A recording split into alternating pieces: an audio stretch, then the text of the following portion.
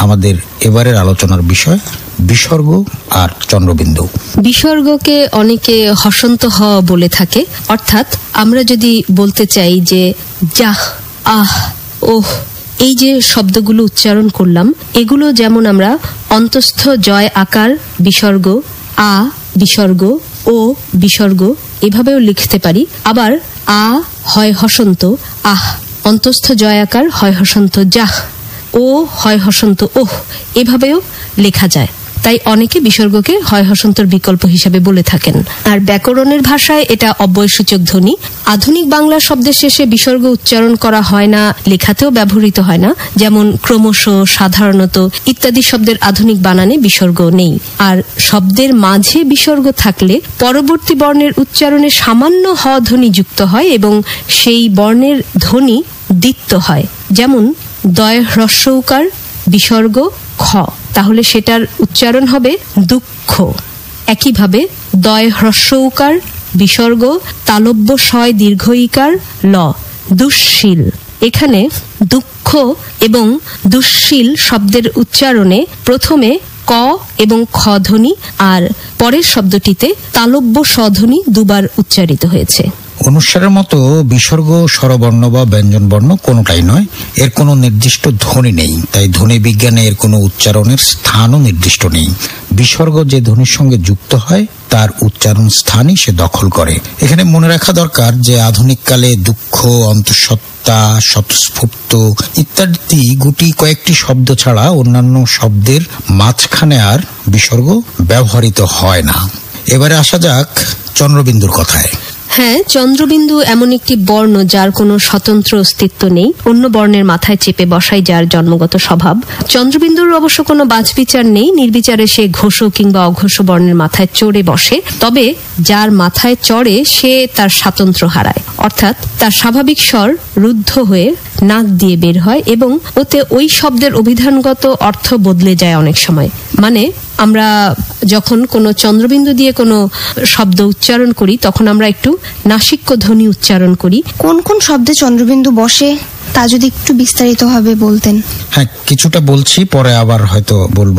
সাধারণত তৎসম শব্দের কথ্য রূপ ইয় মূর্ধন্য, ন ন, ম, অনুসার এই বর্ণগুলো তোমরা মনে রাখবে। এর অপভ্রষ্ট হয়ে চন্দ্রবিন্দু হয়। যেমন, অঙ্কন থেকে হয় আঁকা। এখানে এই অঙ্কনের ভেতরে যে উঁটা আছে সেই নাসিক্য ধ্বনিটাই চন্দ্রবিন্দু হয়ে আয়ের মাথায় চড়ে বসল, হলো আঁকা। সেরকম কংস থেকে কাঁসা, কম্পন থেকে কাঁপা, চন্দ্র থেকে চাঁদ, তন্তু থেকে তাঁত, দণ্ডায়মান থেকে দাঁড়ানো, দন্ত থেকে দাঁত, বন্টন থেকে বাটা।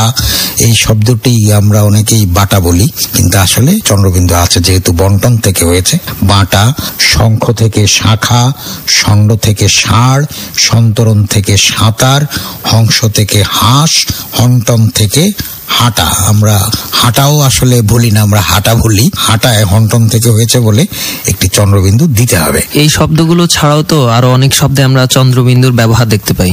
হ্যাঁ ঠিকই বলেছ। বাংলা শব্দে চন্দ্রবিন্দুর ব্যবহার সাধারণত তিন ভাবে আমরা দেখে থাকি। প্রথমটি সমূলক চন্দ্রবিন্দু, অর্থাৎ নাসিক্য বর্ণ রূপ পাল্টালে পরিবর্তিত শব্দের প্রথম বর্ণের ওপরে যে চন্দ্রবিন্দু বসে, সেটা তো ভাইয়ার কাছ থেকে আগে শুনলেই। তবে শুধু তৎসম শব্দের কথ্যরূপেই যে বিষয়টি ঘটে তা নয়, ভিন্ন ভাষা শব্দেও এরকম সমূলক চন্দ্রবিন্দু বসে। যেমন ইংলিশ ওয়ার্ড কাউন্সিলর থেকে কৌশুলি, এখানে কয়ের ওপরে একটা চন্দ্রবিন্দু বসেছে। একইভাবে জেনারেল থেকে drill ফার্সি শব্দ বান্দি থেকে বাঁদি, খান থেকে খাঁ, মুন্ডারি শব্দ ঢেঙ্কি থেকে ঢেঁকি, বইনটি থেকে বঁটি, এরকম আরও অনেক শব্দ আছে, যেমন আরবি শব্দ তম্বু থেকে তাঁবু। যাই হোক, এবারে আসি দ্বিতীয় প্রসঙ্গে, অর্থাৎ অমূলক চন্দ্রবিন্দু প্রসঙ্গে।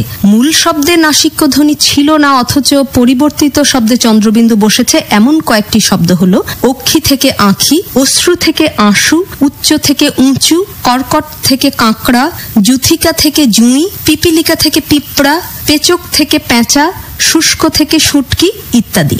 এই যে সমূলক এবং অমূলক চন্দ্রবিন্দু এগুলো ছাড়াও বাংলা ভাষায় কিছু অনুকার শব্দ বা ধন্যাত্মক অব্যয় আছে, অর্থাৎ ধ্বনিযুক্ত শব্দ আছে, যে শব্দগুলো শুনলেই বোঝা যায় যে কোনো রকমের আওয়াজ হচ্ছে। সেসব শব্দের মধ্যে কিছু কিছু শব্দে আবার মানে সেই সব শব্দের শীর্ষে চন্দ্রবিন্দু বসে। যেমন মনে করো যে ভ্যাঁ করে শিশুটি কেঁদে উঠল। এখানে যে ভ্যাঁ, এই ভ্যাঁতে চন্দ্রবিন্দু বসবে, এটার শীর্ষে। এরকম আরও কিছু শব্দ হচ্ছে ভোঁ ভোঁ, পো পো, চো চো, চ্যাঁ চ্যাঁ সাই সাই চাবুক মারার যে শব্দ কিংবা ঘোত ঘোত ইত্যাদি এরকম ধন্যাত্মক যে অব্যয় আছে সব ধন্যাত্মক অব্যয় নয় তবে কিছু কিছু ধন্যাত্মক অব্যয়ের শীর্ষে এভাবে চন্দ্রবিন্দু বসে। কিছু শব্দ আমরা যদি বলে দিতে পারি যে চন্দ্রবিন্দু না দিলে পরে শব্দের অর্থ পরিবর্তিত হয়ে যায় সেরকম কিছু জোড়া শব্দ আমরা এখানে হাজির করছি। যেমন আঁজি আঁজি বললে এর অর্থ দাঁড়ায় রেখা। আর আজি মানে আজকের দিনটি, আট, দৃঢ়তা, আট, সংখ্যা, ওর, অর্থাৎ সম্মানসূচক সর্বনাম, ওর প্রতি, উনার প্রতি, এটার পরিবর্তে আমরা ওর বলি, শুদ্ধ করে, আর ওর, এটা হচ্ছে অবজ্ঞাসূচক সর্বনাম। কাঁচা হচ্ছে অপক্ক, আর কাঁচা হচ্ছে কাপড় কাঁচা ধোয়া। কাঠি হচ্ছে তুলসীর মালা, কাঠি হচ্ছে লাঠি বা দণ্ড। কাঁটা, কণ্টক আর কাটা মানে কোনো কিছু কেটে ফেলা, কর্তন। কাঁদা, ক্রন্দন আর কাদা হচ্ছে মাটির বা বালুর সঙ্গে পানি মিশ্রিত হয়ে যে কাদা ভরা মাঠ হয় বা কর্দমাক্ত রাস্তা হয় সেই কাদা। কাঁড়া মানে ছাটা বা তুষহীন করা আর কাড়া মানে হচ্ছে কেড়ে নেওয়া। কুঁড়ি মানে হচ্ছে কোরক, ফুল ফোটার আগে যে কুঁড়ি হয় আর কুড়ি হচ্ছে সংখ্যা। গাঁ, গ্রাম গাঁ, গ্রাম অর্থে গা শরীর অর্থে। গাঁথা মানে হচ্ছে গ্রন্থনা করা, যেমন ফুলের মালা গাঁথি আমরা, আর গাথা হচ্ছে গল্প বা কবিতা। গাঁদা ফুল আর গাদা হচ্ছে ঠেসে ভরা বা মাছের পিঠটাকেও বলা হয়, কোন স্তূপকেও বলা হয়। গোড়া হচ্ছে অন্ধবিশ্বাসী যে, আর গোড়া হচ্ছে মূল বা শিকড়। চাঁপা চম্পক, চাপা হচ্ছে ভর দেওয়া। ছাদ মানে গঠন, আর ছাদ মানে হচ্ছে আচ্ছাদন। তার সম্মানসূচক সর্বনাম, তার অবজ্ঞাসূচক সর্বনাম বা ধাতু নির্মিত সূত্র। বা সুতা। পাড় হচ্ছে সম্পূর্ণ আর পাড় হচ্ছে কোনো প্রান্ত সীমা, যেমন আমরা বলি শাড়ির পাড়। পাতি হচ্ছে শাড়ি, পাতি হচ্ছে সমুদয়। বধূ মানে বন্ধু আর বধূ মানে পত্নী। বাটা মানে বন্টন করা, অর্থাৎ ভাগ করে দেয়া, আর বাটা মানে হচ্ছে পেশন করা, অর্থাৎ মশলা পেশা। বাঁধা মানে বন্ধন আর বাধা হচ্ছে প্রতিবন্ধক। যাঁরা সম্মানসূচক সর্বনাম, যারা অবজ্ঞাসূচক সর্বনাম। রাধা রন্ধন বা রান্না করা, আর রাধা হচ্ছে আয়ানের স্ত্রী। শাখা হচ্ছে শঙ্খ বা বলয়, আর শাখা হচ্ছে বাহু বা ডাল। অনেকে আজকাল লেখায় চন্দ্রবিন্দু ব্যবহারে সতর্ক নন, কিংবা উচ্চারণেও চন্দ্রবিন্দু ব্যবহার করতে চান না। এতে কিন্তু অর্থের বিপর্যয় ঘটে।